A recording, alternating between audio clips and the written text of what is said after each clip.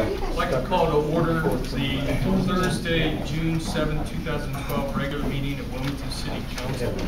Roll call, please. Mr. Yaney? Here. Mr. Wells? Here. Mr. Stucker? Here. Mr. Wallace? Here. Mr. Reed? Here. Mr. Siegenthaler? Mr. McKay? Here.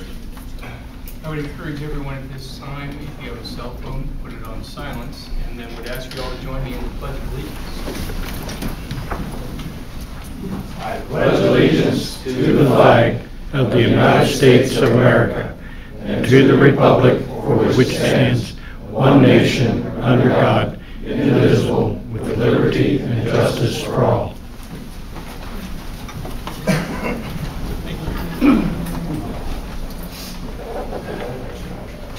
Under my portion of the agenda this evening, the first thing we have is the approval of the meeting minutes from the May 10th, 2012 special council meeting. What's your pleasure? I did see a mistake in one of those. It said Mr. Hockaday, I think it meant Mr. Hollingsworth. Do you remember where? No, I have to, I have to check it out. That would have been on the,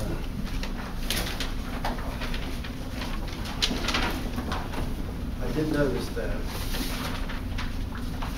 Listed him as the speaker. Yeah, that's back here. Yeah, here. I think it's right here on page fifteen of the, uh, May seventeenth. Oh, May 17th, Yeah. we're doing May 10th. at You're doing the point. tenth right now, okay. But there, there is a mistake in this one. All right, we'll get to that one in a right. second. So on May 10th, are there any issues or concerns? If not, what is council's pleasure? I move that uh, it be accepted as presented. Second. First by Councilman Wells, second by Councilman Stucker. All in favor, signify by saying aye. Aye. Opposed, nay. Minutes accepted as presented for the May 10th special meeting. Now, the uh, meeting minutes for the May 17th regular meeting of council. I believe that you're on, Councilman Wells. Yeah, it's uh, page fifteen. I believe that was David Holland. You're leaving here, you're hot. So, uh, I have a. I, I make a motion we amend the minutes. I have a motion. Do I have a second? I'll second. I have a first by Councilman Wells, second by Councilman Stucker to all in favor signify by saying aye. Aye. Opposed, nay. Minutes. I move to an exception, minutes as amended. I'll second. First by Councilman Wells, second by Councilman Stucker to accept as amended. All in favor signify by saying aye. Aye. Opposed, nay. The meeting minutes are accepted as amended. And the third item on my portion of the agenda this evening is the public hearing for the 2012 CDBG grant program. We have Laker Wright, the CDC of Ohio, here to do that. I will now open the hearing. Thank you, Mr. President, uh, members of council, members of the public. Uh, Tonight is our second public hearing on uh, Wilmington's 2012 CDBG Small Cities uh, Block Grant Program. Uh, This year, the city's allocation is $47,000. Um, The state uh, is permitting uh, direct cities to apply for two projects. Uh, They've limited it because of the uh, the funding cuts in this past year. Uh, Cities selected to carry out one demolition project at 142 North Mulberry Street under spot slum and blight. Uh, The property uh, is structurally unstable. Uh, Earlier this year, uh, the owner of an adjacent property uh, contacted the city, indicated that the um, chimney was falling onto their home. The fire department had to be summoned to remove the chimney, and the city feels that it's probably time to try to remove the rest of the property before it collapses. Uh, The second project is uh, installing security cameras at Prairie View and Quaker, uh, the subsidized apartment complex on Prairie Avenue. Uh, Prairie View contacted the city back in January, uh, reported that uh, in the last couple of years, they've had problems with burglaries, uh, a couple of robberies, and some drug crimes, and asked if it would be possible uh, to install security cameras at the entrances to the building and also on the upper floors at the elevators. Um, The city uh, worked with the Department of Development.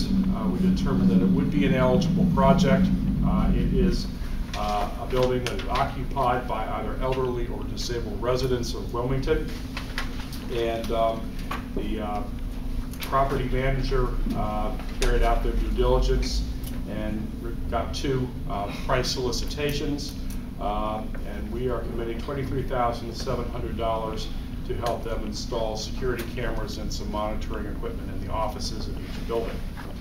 Uh, In addition, uh, the city has committed $2,300 to complete one of the mandatory uh, fair housing programs that go along with the grant, and $7,100 for administration of the grant. Uh, This evening, we'll be passing the resolution uh, to apply, and the applications are due uh, Friday, June 22nd. I have for comment. Do we have anyone in the audience this evening to comment on any of the CDBG items? If you would wish to comment, we can bring you forward. Any members of the council?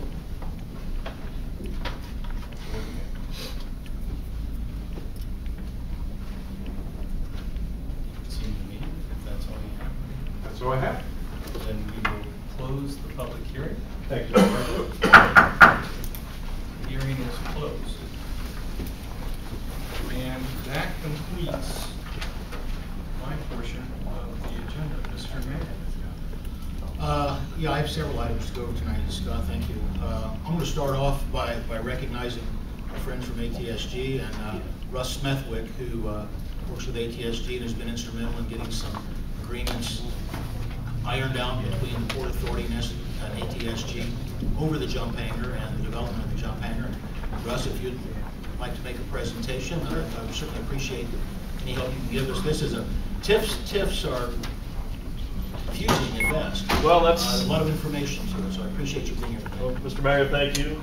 Uh, President of Council, members of council, members of the public, I thank you for your time.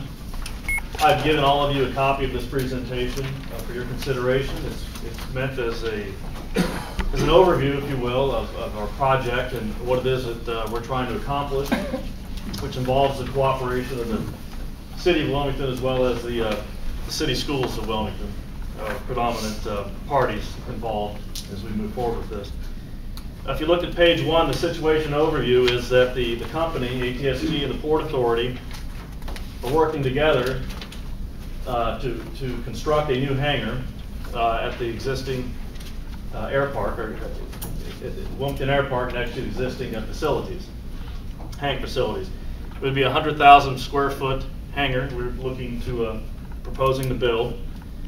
Uh, The company, the Port Authority would, would, would would build the hangar, own the hangar, and the company would lease the hangar from the Port Authority.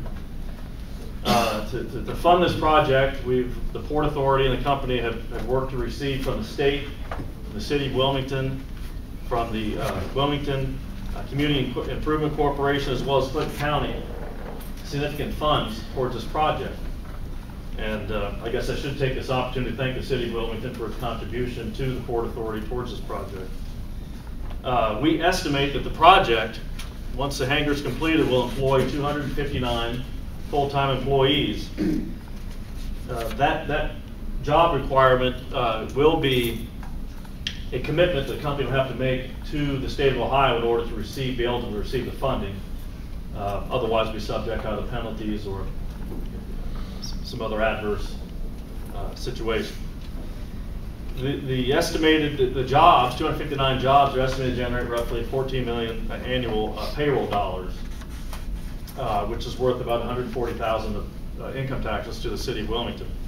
The cost of this hangar is roughly $14.5 million. Uh, As I said before, the, the the company and and the Port Authority have reached uh, terms on the lease of this new facility as well as uh, amendment of, of terms to the existing uh, lease agreement that we have with the Port Authority.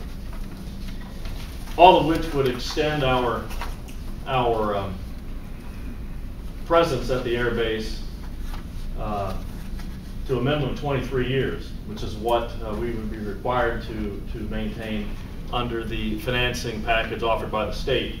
And we have worked with the Port Authority to coincide our existing lease, which is much shorter than that, uh, to coincide with the termination of this new facility lease. So um, the company looks as- at this as we're providing some significant stability to the air park uh, for, for a very long period of time. Uh, Flipping to page two, it's simply a diagram of what the, the new hangar facility footprint would look like. Uh, Really, in short, what it does is it adds additional capability to the company to be able to market its services to a broader range of customers.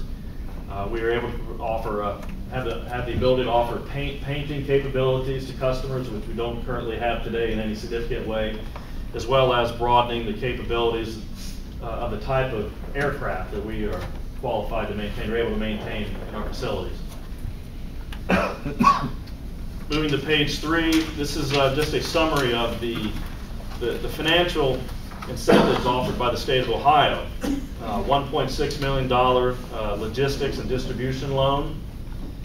Uh, That, that loan is, can be forgivable if, if certain conditions are met. Uh, There will be a, a a $9 million bond uh, offered by the state of Ohio, uh, which will have a 23-year life. And as it works out, the company, through its lease, will have to coincide its lease payments to the Port Authority that allows the Port Authority to pay back that bond. So that's how we get the 23-year commitment in place. There's also a, uh, it's called a 166 direct loan. It's a $4 million loan uh, from the, uh, from the state. And the, the the method in which that loan is repaid is, is really of what's of interest to the city council as, as well as to the uh, Wilmington City Schools. And we'll talk about that uh, in a moment, but it's called tax increment financing or TIF. The final bullet on this page uh, is um, also a requirement by the, the state of Ohio, and that is that the, the company, ATSG, must provide a guarantee to backstop all the financing that's associated with this, uh, with this project. So um, that, that includes the lease uh, that the, the company, a company affiliate will have with the Port Authority, uh, the amount of TIF service payments. And again, when you think of a TIF service payment, think about the amount of money that's used to pay off debt. So the company has to guarantee a minimum amount of, of of money uh, in TIF service payments, enough to amortize a piece of the the debt obligation. Turning to page four, tax increment financing, uh, what is it? Well, it, it is, a- it's a, it's a, it's a public financing method used to, to assist or facilitate redevelopment, infrastructure, or other type of community improvement projects. Uh, When a city council approves a TIF ordinance, what it does is it exempts a piece of property that is valued to be improved by, by a, by this project. um, Exempts that, that property uh, value from real property taxes, but that money, instead of being applied to the taxes, that same amount of money and the timing of that payment will be used to service debt. So the simplest way, you're redirecting the property taxes, or a portion of it, uh, in the end, to, to satisfy a financial obligation in order to um, help, help this, this, this, this uh, community improvement project. It's not an uncommon type of financing vehicle. Um, It's, it's used quite readily in the state of Ohio. As, as a matter of fact, there are over 1,100 TIFs that are utilized today in the state of Ohio. Uh, For your reference, in the Ohio Revised Code, it can be, the- the specifics of this TIF can be found in 5709.41. The type of TIF we'll be asking, we're looking for under this section is a 25-year term, and it would, it would implicate 100% of the, the real property uh, tax dollars. Uh, The provision of, the code allows for a 10-year up to 75% without having to go forward, go, without receiving approval, but we're going beyond that, so that's why we're here speaking with you tonight, uh, as well as uh, our discussions with the, the school district. page five, please, unless there are any questions what is a TIF? Russ, if I could, I, I did notice, um, the length of the lease is twenty-three years, the amortization of the one sixty-six direct loan is twenty-three years. Is that a typo on the twenty-five? Or is there a reason that we would extend that two years beyond without the debt service payments? It, it- it's twenty-five years intentionally, and it's, it's twofold. The first is because the, the timing of your, your, your- your property revenue tax cycle, by the time this, this project is fully up and running, it's going to, um, be longer than twenty, be longer than twenty-three years before you get the full impact of, the- of those tax dollars, right? Before that valuation is sufficient enough to be able to generate enough tax increment financing to service the debt. So it's gonna take more than twenty-three years, and there's also a bit of a cushion in there, if you will, to get it to twenty-five. But the amortization schedule ends at twenty-three, as I read your Yes. presentation. Okay, Thank you. I mean, does that, answer your question? uh?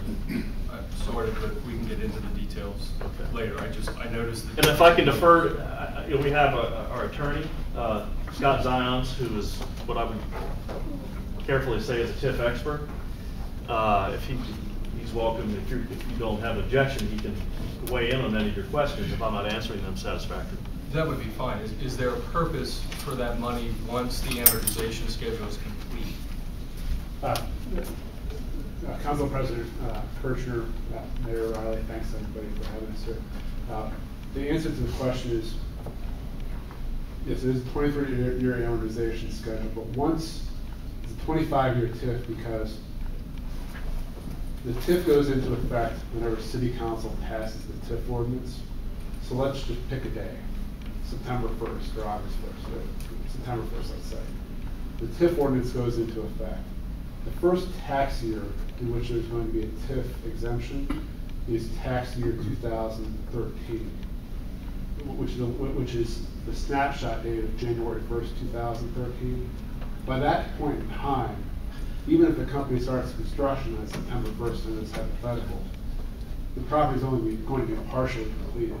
So that first year of that twenty-five year TIF period, the, the TIF service payments are going to be like this. They're, they're gonna be very small. Again, TIF service payments are just a dollar for dollar substitute for, for increased property tax payments. So that first year really isn't anything, it's not sufficient to, to to amortize the debt. Hopefully, by the end, the plan is, uh, by January one, two thousand fourteen, to have construction be complete. Absolutely. If construction is complete, then we'll have the full value and, and we'll have a full twenty-four years to service that twenty-three year amortization. But if something slips, again, there's no plans for anything to slip, but it's construction and, and, and- and we all, my recommendation is to be prudent. Uh, Build in that contingency. It's Effectively, works out to a four percent contingency by adding in that extra year. So if all things go well, we'll only need twenty-four years, but, uh, but we, we need at least twenty-four, and twenty-four is what the company's proposing because we think it's good proposal, that slight contingency.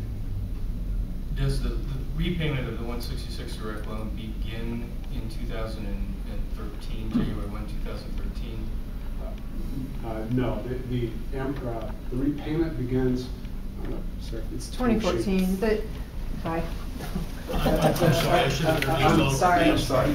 It's I okay. should I'm, I'm Sarah Williams, I'm the tax director at ATS. Sarah's from ATSG, she's their tax director, and has been with them for quite some time, as I understand. Five and a half years. Five and a half years.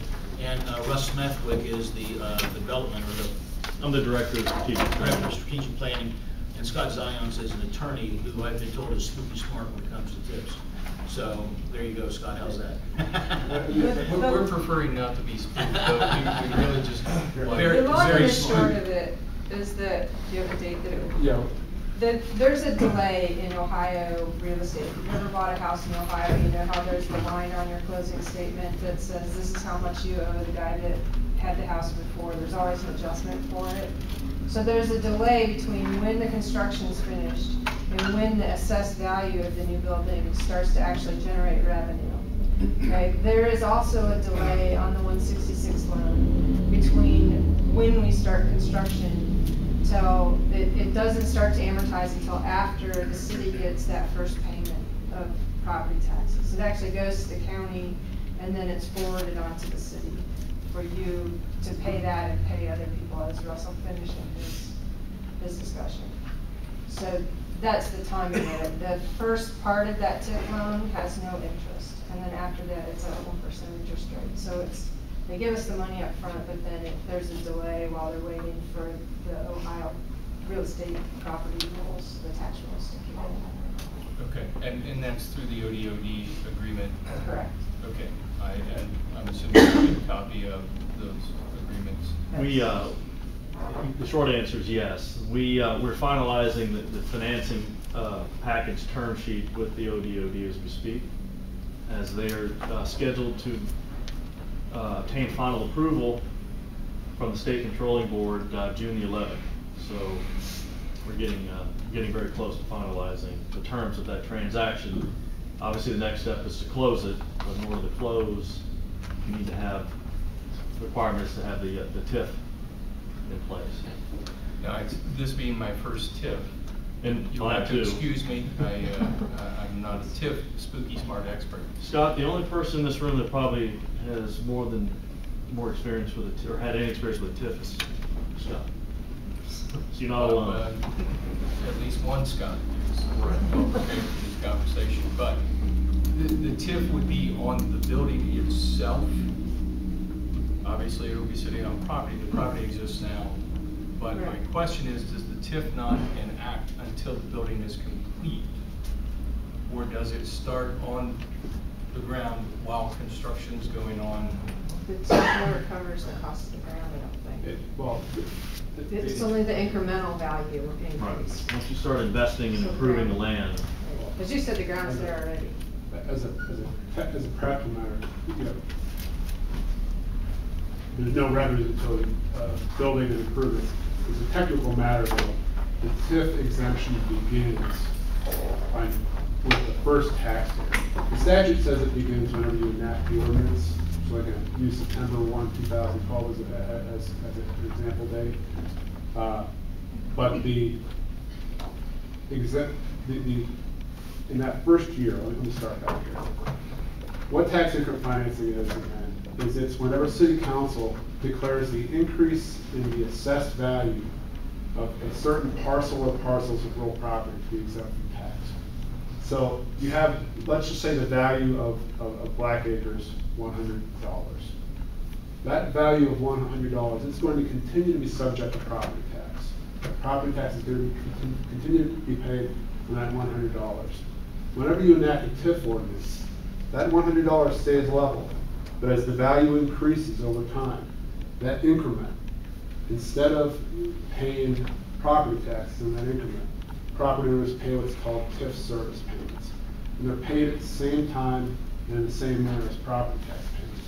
So again, back to the question, uh, for tax year two thousand thirteen, let's say the value of the parcel is ten thousand dollars, I don't know what it is. Let's say it's ten thousand dollars. By one one thirteen, the value might be a million dollars. Maybe they've done some site work, some construction. That increase in value from ten thousand dollars to one million dollars, or nine hundred ninety thousand dollars, the property owner won't pay what's called TIF service payments on that. Obviously, that TIF service payment on about a million dollar increase is not gonna be enough to service that, that debt. But by 1-1-2014, when the whole building is done, hopefully, then the incremental increase in value will be about fourteen and a half million. That's what's, what- what's projected. That fourteen and a half million dollar incremental increase in value will generate TIF service payments, which will be used to service the debt on the one sixty-six loan after a capitalized interest period. And, and- and again, we're, we're struggling a bit because, uh, the terms haven't been finalized with the state. We're working through the details of the term sheet. We wanted to, uh, begin this discussion with city council now. Hopefully, in the next few weeks, we're gonna be finalizing this term sheet. term sheet. Okay, I, and one other question, because, again, I'm, I'm not a county auditor, either, but would it be normal for the county to come out and assess an increased improvement value without a completed construction project? Or would they wait until the building was complete in order to be able to assess the improvement Uh, value? In, in most counties, and there's 88 slightly different answers to that question, but in most counties, uh, whenever a building permit is taken out, uh, someone in the county auditor's office will find out about it. They have some type of methodology to find that out. And then that will trigger someone to go out and find out what was there as of January 1st. So I'm guessing that's what happens in Colorado, but I'm not certain. Okay, all right, very good. I'm sorry to derail this in the middle of the presentation, just trying to understand the difference in twenty-three and twenty-five. It's a complicated matter, and we, we, we wanna work through it so we all understand, uh, to make an informed decision. Very good. Okay, uh, page five. Uh, we, we we covered most of this, uh, just a moment ago, but the proposed TIF that, that, that, um, we're asking the city council and the city, and Wilmington City Schools to consider is one hundred percent of that incremental value of, that property that's taxed would be sub- subjected to this TIF, which means, and it would be for a term of twenty-five years. Uh, In order for this to happen, again, the city council and as well as the Wilmington City Schools have to come to an agreement that we will move forward with this. Um, So, the money, the, the incremental value of this, this property, estimated to be fourteen and a half million dollars, is gonna be sub, subjected to this, this, this tax increment financing. And so ordinarily, uh, you would pay the property tax value, or property taxes on that uh, incremental value would be about two hundred and, let's just say seventy thousand dollars. All right, so that's the amount of money that, uh, the property taxes that will be now considered TIF service payments. And so of that amount, uh, the first uh, obligation that will have to be met is to satisfy the amortization on the 166 loan, which, based on uh, what we've seen from the state, is roughly $227,000 a year. So the $270,000 of tax, uh, uh, TIF service payments, 227,000 dollars comes right out of that, because that, that goes towards satisfying the loan. Okay? Any remaining money after satisfying the two hundred twenty-seven thousand dollars would then be um, eligible to be paid to the the Wilmington City Schools as well as the joint vocational school, uh, Great Oaks. And the reason for this is, and and this, this is where I may start the struggle, but, uh, you know, based upon the state's uh, funding formula with the schools, if, if there is a, a piece of property that has value, that is, that's, that is factored into the state's funding formula for, for the amount of money schools are eligible for.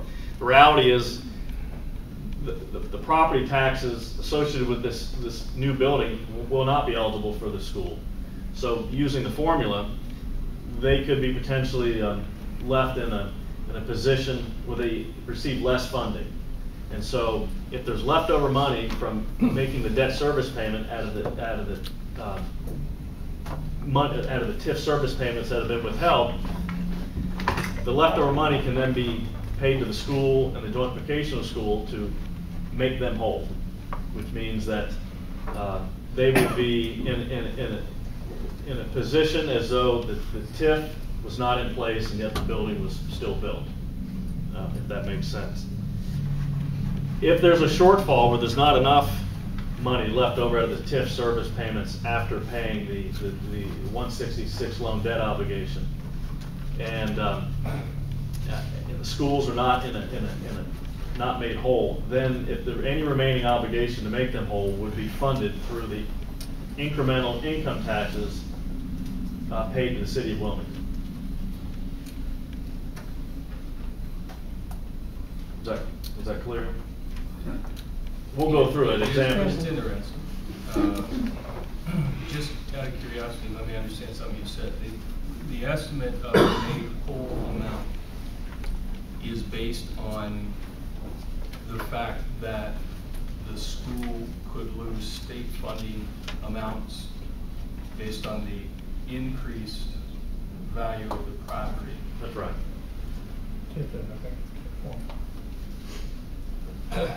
what would occur if they did not lose that?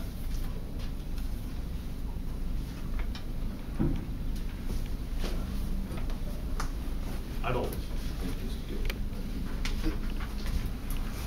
I don't know if that's a likely. I don't, I don't know if that's a scenario. I mean, based on the funding formula, granted that there's a bridging formula in place, but but based on the way things have historically done, if there is, a- if there is value added to, and there's real property taxes available, that impacts the amount of money that they would school that ordinarily be eligible for. Not the way I understand it, that the school, the school formula system is not affected by TIFs. That's a general statement, I don't know the details.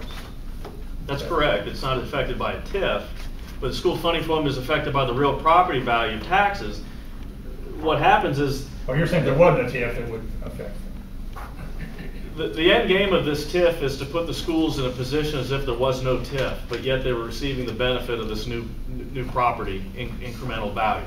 Do you have a, this is the time for this question, do you have the, the uh, dollar amount? In other words, thirty-five percent of the improvement times uh, .052 gives you a certain, an estimated tax, right. or a service charge, if you will. Do you have an idea what that number is? Yeah. It is? If, if I can, uh, I'm happy to answer your question. You have a spare one of those? I do. I'll pick it up. Um, let me finish going through the presentation. There's, a- there's an example on the, on the next page, um, which I'll take them through, the city council. And, um, and hopefully that'll shed some more light on this. Okay, so I left off, well, there's a shortfall in, in the, uh, in, in, in the amount of money that is, is remaining to make the schools whole, and that makeup payment would come from the city of Wilmington, all funded through the incremental income tax that would be generated by these, by the, by the, by the new payroll. All right, roughly hundred forty thousand dollars a year, once we're up, up, up to full speed, would be available to be applied towards any makeup payment. And we'll get to what we think that makeup payment is going to be. Um, But it's also very important to understand that if- if, under some unfortunate circumstances where the company or the Port Authority would, would end up in default, go out of business, what have you, that the city or the schools would have no financial recourse liability for any of these, any, any of these obligations, specifically the one sixty-six. And that the TIF pledged by the city, um, would not obligate, the city would not be obligated to pay anything more than what they had pledged to under the, under the, the TIF ordinance. Um, and the makeup payments, as I said earlier, will, will be limited to the amount of incremental income taxes the city, uh, would, would enjoy by the additional payroll. So quite simply, the way, the way I try to, the way I look at this is, in no way, in no situation do we find that the school will be, will be put in any, in an adverse situation under this scenario with a TIF, and nor will the city of Wilmington. That we are asking some, some- some- our request is for the, for the approval of the TIF in order to allow this program to proceed, but in no way, shape, or form do we ever envision there's a, a situation where the, this would have an adverse effect on the schools or the city of Wilmington. Uh, We look at this as, it- it- there- there's a, a very, um, a very good opportunity for the community and for the corporation uh, by going forward with this. If we flip to page uh, five, it's an illustration of what the proposed TIF, page six, illustration of what the proposed uh, TIF would look like. And so you see you have a $14 million estimated valuation on this new, new, new facility. That would be the incremental amount of property, real property, uh, property subject to uh, property taxes. Uh, If I apply the formula, thirty-five percent times this, that, the amount of incremental property taxes is two hundred and sixty-four thousand dollars. I'd said two seventy before, but as an exa, as just round numbers, but two sixty-four. Of that amount, two hundred and twenty-seven thousand dollars is required to be used to pay, to amortize the one sixty-six loan. So you'd have a remaining amount of thirty-seven thousand five hundred dollars. Well, if, if you look at what the, uh, of the property taxes that the school, the joint vocational school in the city of Wilmington would have been entitled to based on the, uh, the, the tax rates, it would, they would be entitled to fifty-one thousand dollars of that two hundred and sixty-four. Well, there's only thirty-seven left. after applying the loan payments. So that means there's a thirteen thousand seven hundred dollar shortfall. So where does that money come from to make up the shortfall? Well, that would be funded by the city of Wilmington through the incremental income taxes generated by the, the new payroll. Fourteen million dollars of payroll, one percent income taxes, hundred forty thousand dollars of, of new, new taxes, income tax revenue of the city. Which, after making that uh, makeup payment to the schools, the city would still be left in a, in a net positive position of hundred twenty-six thousand dollars. So again, as we look at it, the school is, in- is is not disadvantaged in any way, shape, or form in this project.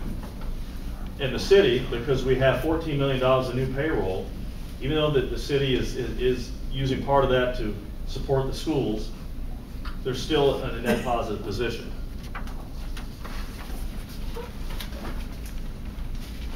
So I conclude on page seven. Uh, Again, thank you for the opportunity to speak with you and, and- and talk about this matter. We, we, we think it's a great opportunity, not only for the company.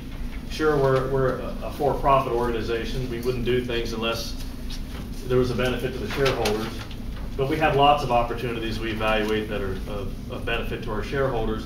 What makes this opportunity very exciting for the company is that we have an opportunity to bring a, a significant amount of employment to a community that has, that we've experienced it firsthand since we're the ones that had to terminate six, seven, eight thousand people.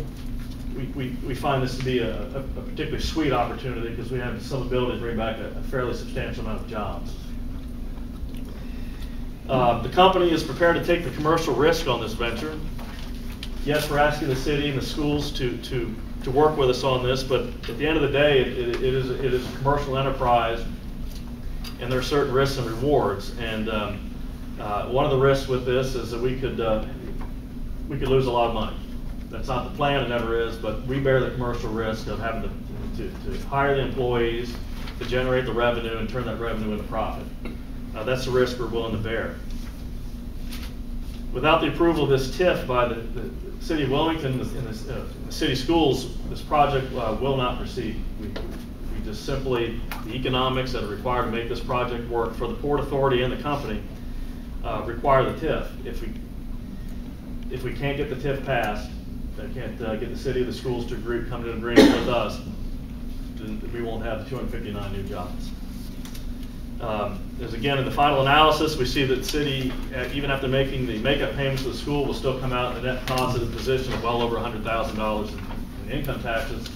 And that's not to speak of the income taxes generated by the the construction workers that would be working here a full year before the payroll, full payroll is up, up and running, of uh, $14 million, uh, as well as a multiplier effect to the, to the local economy by having the, the new payroll spent uh, at our local, local stores.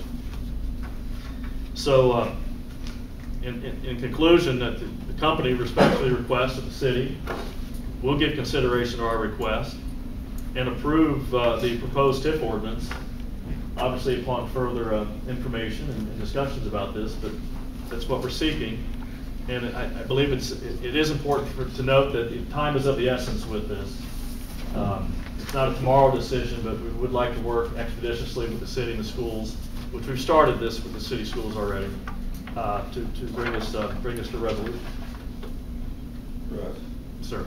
I, I pretty much understand the city side of it, um, but would, would not the property taxes to the county be deferred? Or am I missing something? Would, would the county be shorted, uh, the amount of taxes that they would have gotten? Is that, Um,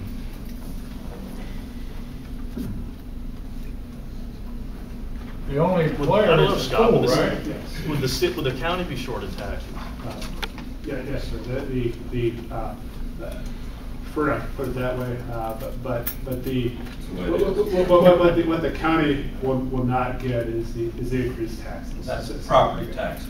Exactly. Right. Again, Whatever, whatever, the base value is going to remain the base value, and they'll get those taxes.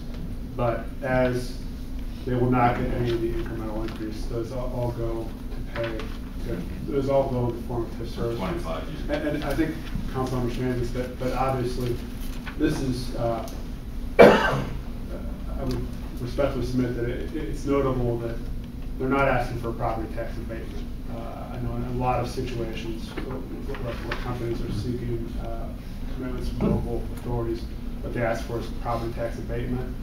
Now, you know, the county, it might be like a property tax abatement because they don't come with the revenues.